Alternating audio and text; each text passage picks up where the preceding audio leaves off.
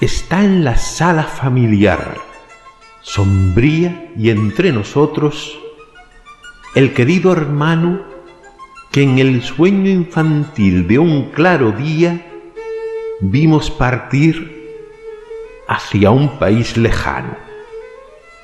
Hoy tiene ya las sienes plateadas, un gris mechón sobre la angosta frente y la fría inquietud de sus miradas revela un alma casi toda ausente. Deshójanse las copas otoñales del parque mustio y viejo.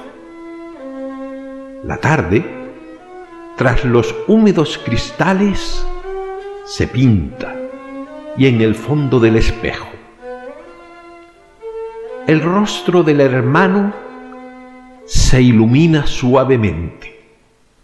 Floridos desengaños dorados por la tarde que declina, ansias de vida nueva en nuevos años, lamentará la juventud perdida. Lejos quedó la pobre loba muerta. La blanca juventud nunca vivida teme que ha de cantar ante su puerta. Sonríe el sol de oro de la tierra de un sueño no encontrada. Y ves un ave hender el mar sonoro de viento y luz la blanca vela hinchada. Él ha visto las hojas otoñales, amarillas rodar las olorosas ramas del eucalipto,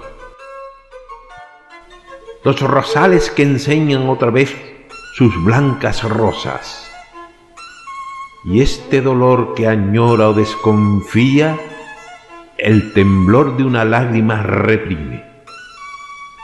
Y un resto de viril hipocresía en el semblante pálido se imprime. Serio retrato en la pared clarea todavía. Nosotros divagamos. En la tristeza del hogar golpea el tic-tac del reloj. Todos callamos.